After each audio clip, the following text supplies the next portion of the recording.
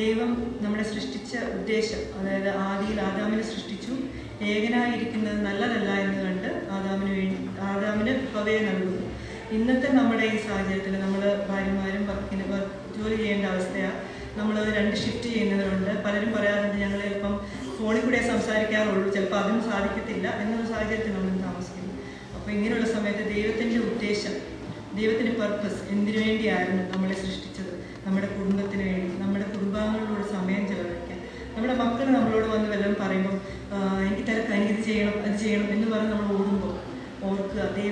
ദൈവത്തിന്റെ ഉദ്ദേശം ഒരു പർപ്പസ് ഞാനൊരു ഒരു സ്ത്രീയായിട്ട് ഞാൻ ഈ ഭൂമിയിൽ വന്നതിന് ദൈവത്തിനൊരു പർപ്പസുണ്ട് അത് മനസ്സിലാക്കി തരവാൻ പരിശുദ്ധാത്മാവിനോട് പ്രാർത്ഥിക്കുകയും ദൈവത്തെ നമുക്ക് സ്തുതിക്കുകയും